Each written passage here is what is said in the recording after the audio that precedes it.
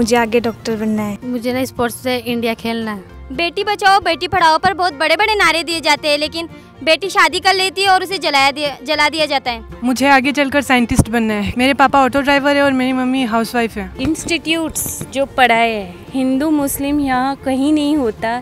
ये जो पॉलिटिशियंस है वो डालते हैं। Yes I can do it मैं कर लूँगी क्योंकि यहाँ पे जो मोटिवेशनल पावर जो है टीचर्स हमें जो मोटिवेट करती है, उससे मेरे को लगता है कि मैं सब कर लूँगी। अभी हम राजस्थान के सीकर डिस्ट्रिक्ट में हैं। ये ये एरिया शेखावती का एरिया कहलाता है। शेखावती रीजन के नाम से ये जाना जाता है। अभी हम मौजूद हैं। Excellence Knowledge City for Girls ये एक बेसिकली चेन है एजुकेशनल इंस्टीट्यूशंस का। वुमेन एम्पावरमेंट के थीम पे एक सीरीज़ ऑफ़ इंस्टीट्यूशंस हैं।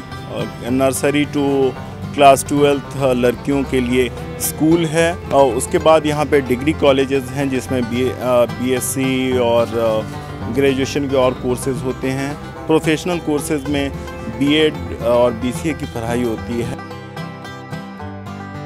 I think when he started from the beginning thing in mind that it is girls who are being not treated equally to the boys the boys were given the priorities and not the girls So when we started, it was not the Muslim cause, it was the cause of the girls. So irrespective of the section of the society, irrespective of the language, caste, religion, that was not important to us. What was important, the girls from any society, that was the important.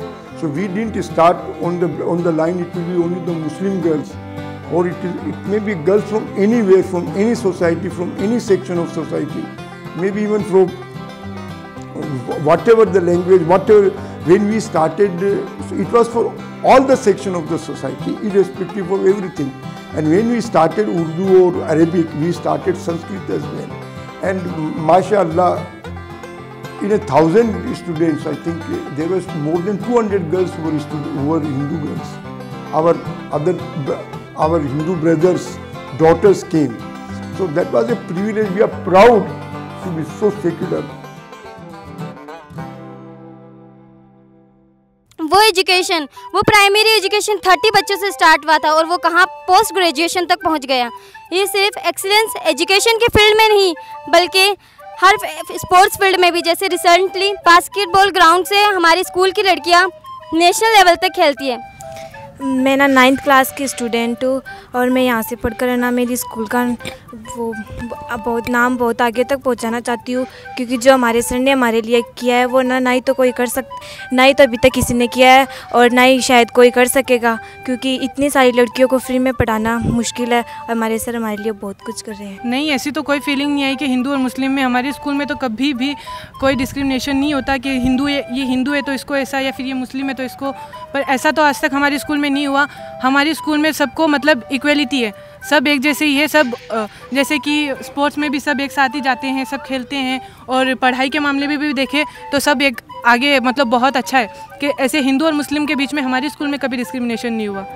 हमारी सरकारी स्कूलों में सुधार होना चाहिए और उसमें पढ़ाई भी अच्छी होनी चाहिए, इसमें और उसमें हर फैसिलिटीज़ होनी चाहिए सरकारी स्कूलों में। कि उसमें ना मतलब दूध पिलाया जाए, खाना खिलाया जाए और हमारे जो एजुकेशन सरकारी स्कूल की हर घर तक पहुँचे। जैसे कि अभी हमारे यहाँ पे चला था स्वच्छ भारत अभियान तो मैं बहुत जगह देखती हूँ, यहाँ पे कुछ ऐसा नहीं होता कि स्वच्छ भारत अभियान कहीं भी नहीं है। जहाँ पे देखो सड़कें गंदी पड़ी है, सब कुछ ऐसी हो रहा है कि स्वच्छ भारत अभियान का चला तो इतना बड़ा था कि ये होगा, वो होगा, स्वच्छ करेंगे सब चीज़। पर आज तक ऐसा कभी कोई देखने को नहीं मिला कि हमारी, मैं अपने मोहल्ले की सड़कों को पर भी देखती हूँ, या फिर जो मेन सड़क होती है उस पर भी देखती हूँ, इतना कचरा पड़ा होता है, लोग वहीं पे कचरा डाल के जा रहे हैं। आज तक कभी डस्टबिन की फैसिलिटी हमें प्रोवाइड नहीं की गई। आजकल महँगाई बहुत ज़्यादा हो रही है तो इस वजह से कई गरीब लोग हैं, वो कुछ नहीं कर पाते, आगे नहीं बढ़ पाते और हम जिस बैकग्राउंड से आते हैं फैमिली बैकग्राउंड जो हमारा है, वो उस उस टाइप से नहीं है कि हम, हमारे पेरेंट्स हमारी सब इच्छाएँ पूरी करें, हमें आगे तक पढ़ाए। हम, अब ये नहीं, अब हमारे रवायत सर है, उनकी वजह से हम लोग अभी यहाँ पढ़ रहे हैं। मैं यही चाहती हूँ कि हर एक गाँव में, हर एक छोटी छोटी बस्तियों में, हर एक चीज़ उनकी ज़रूरत पूरी की जाए। छोटे छोटे बच्चे हैं, वो पढ़ने नहीं जाते तो उन्हें भी स्कूलों में डाला जाए छोटी छोटी गाँव में छोटी छोटी स्कूल होनी चाहिए पानी की ज़रूरत पूरी होनी चाहिए तो उनकी हर एक मांग को पूरा करना चाहिए सरकार को उनकी सुननी चाहिए। मैं बस एक ही बात बोलना चाहूँगी कि जैसे आजकल गर्ल्स को सिक्योरिटी बिल्कुल नहीं मिलती तो गर्ल्स को सिक्योरिटी मिलनी चाहिए।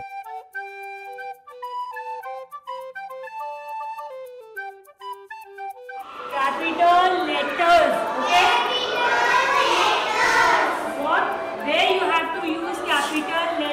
सर, एक तो ये कि ना, जो गवर्नमेंट स्कूलेज हैं कॉलेजेज या तो उनका एजुकेशन का स्तर सही करें, ताकि ये रहे कि भाई सब टाइम पे जा रहा है एजुकेशन टाइम पे मिल रही है, क्योंकि प्राइवेट स्कूलों में एजुकेशन अच्छी दी जाती है और गवर्नमेंट में नहीं मिलती। इस वजह से बच्चे भी गवर्नमेंट में कम जाना चाहते हैं, मात्र दस, पाँच बच्चे मिलते हैं वहाँ पर जा सबसे बड़ी बात एक्सीलेंस की ये है फ्री इंस्टीट्यूट है। तो ये है कि कोई बॉन्डेड नहीं है, बच्चा आराम से आके पढ़ सकता है। टीचर्स वेल क्वालिफाइड लगते हैं। प्लस उनकी जो खेलने की पोटेंशियल है, जो हमारे जो ये सीकर है, वहाँ मिलती नहीं है। क्योंकि घरों के अंदर कोई खेलने का ग्राउंड नहीं है।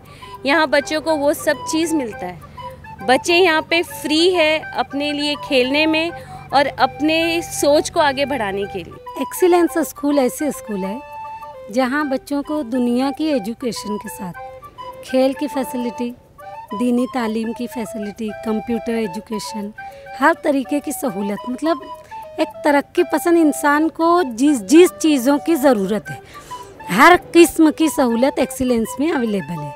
इसलिए हम ज़्यादातर पेरेंट्स से यही चाहेंगे कि वो अपने बच्चों को इस स्कूल में ही लेकर आएँ तो ज़्यादा बेहतर है। जब सीकर में वाई चौहान साहब ने एक्सीलेंस स्कूल और कॉलेज की बुनियाद रखी, तब सीकर के हालात ये थे, ख़ासतौर के मुस्लिम समाज कोई बच्ची स्कूल के दरवाजे तक दिल्ली तक नहीं जाती थी क्यों ही इन्होंने बुनियाद रखी एजुकेशन का सेंटर कायम किया और घरों से बच्चियों का आना शुरू हुआ तो लगातार बच्चियाँ तरक्की करती रही girls have become educated, they, they become learned. Was all the e- effort of Vice Saab and his team. And may Allah give him more strength and courage so that this work should continue.